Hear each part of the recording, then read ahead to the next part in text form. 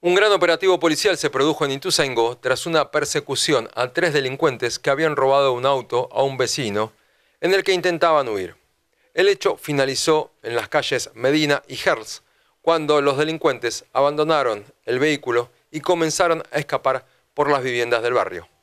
Hasta allí llegaron varios móviles policiales de las comisarias del distrito y la DDI, que realizaron un operativo cerrojo sobre las calles Herls, Medina, Monroe y Avenida Ratti para evitar la fuga de los tres ladrones.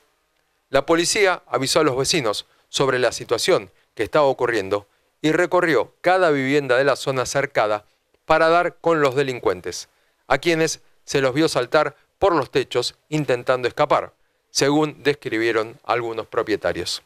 Durante varias horas, la zona estuvo cercada por patrulleros tratando de capturar a los delincuentes. Finalmente, dos fueron encontrados y detenidos.